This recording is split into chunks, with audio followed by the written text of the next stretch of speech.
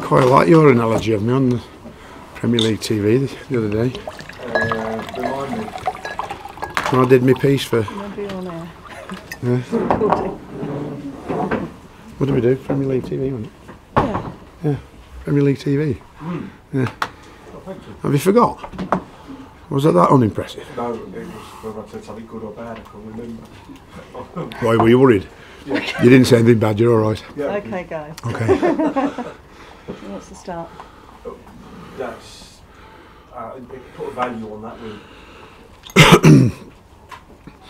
the start of uh, recovery, I would say, uh, back-to-back wins, and with the performance, both in and out of possession today, and and out of possession gave us the platform for victory, uh, and then the the ask of better quality in the final third came today with two outstanding pieces of quality.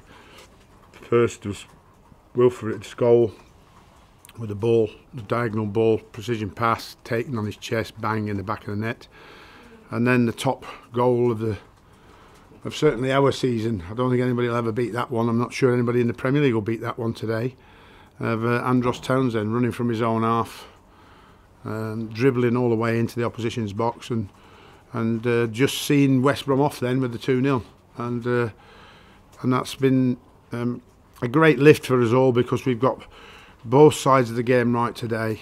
Basics in place, nullified the opposition's attacks, limited them to very few chances on their own ground, kept the crowd quiet, and punished them when we got the opportunity. The Andros came off afterwards and changed his shirt. He had blood on it. He Oh, cut okay. his hand for some reason, I don't know how. So he had to come off to, to change his shirt. And he looked absolutely shattered from the run. Uh, yeah, yeah, I thought we were going to have to give him some oxygen, but he was all right. Um, I thought he worked extreme. In fact, all the players are working, working, uh, working hard, and I think that they're working hard without really knowing it today because the pressure's coming off them. They're relieving themselves of all that pressure they put themselves under um, for most of this season. And when you get results, that pressure lifts, and you're you're running around with with more freedom, and you're not realising how much running you're doing because you're actually enjoying it that little bit more. And and the lads, you know, deserve to enjoy what they've done today. Two central defenders were outstanding for the second week. Well, you know, I said what turns it around is clean sheets. You know, and the and the, the three victories I've had have, have all been clean sheet victories, and and uh, where we've scored the first goal, and that's how important it is. Those two elements are critical uh, wherever you are in the league, and uh, I think that uh, those two, particularly today, um, were really really solid, and uh, obviously um, Mama's. Um, you know, not played a game of football for a long time. That's his first two Premier League games this season, and uh, you know, I'm just looking forward to him carrying on. And James Tomkins again didn't put a foot wrong, and so that gave us, like I said, that security at the back and platform to go on and win this game. Um, I saw Christian Benteke seemed to get a bit frustrated, got himself booked. Because he hasn't scored, that's what he's, he's he, he wants to score. You know, we want to get him a goal if we can, but you know, at the end of the day, he's extremely happy by the fact that we're winning. But he, you know, he is frustrated because he wants to score. Like you know, um, he had his chance, the corner first half, free header.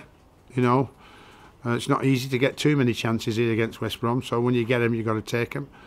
Uh, I have to say, my heart went in my mouth a little bit when Andros missed that that chance um, where Ben Foster saved it when we slid a beautiful ball in behind the centre half, uh, and then Andros pops up with a you know that outstanding goal. So yes, we're uh, we're delighted with the uh, the overall performance and Sam, well, they- Christian, Christian and um, um, Jonny Evans, I think they had a clash of heads. yeah. Um, I, I, it looks like Christian's all right to me. I just wanted to check. But also, I've had a suggestion there seems to be some afters going on from, from Evans or anything. Has he complained? Has he said anything?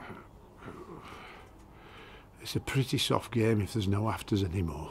If you want to know about afters, have a chat with me later and I'll tell you what real afters are. Like, I mean, I'll tell you about how I used to talk about the hospital menu, you know, and how you couldn't sprint very quick when you get kicked, like you mean. So that afters, if there's afters, there's afters.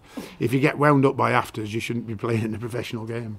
So- Okay, As a wall, guys. Did the players know what um, Tony Pulis Okay. said about Palace before the match? Uh, no. Why?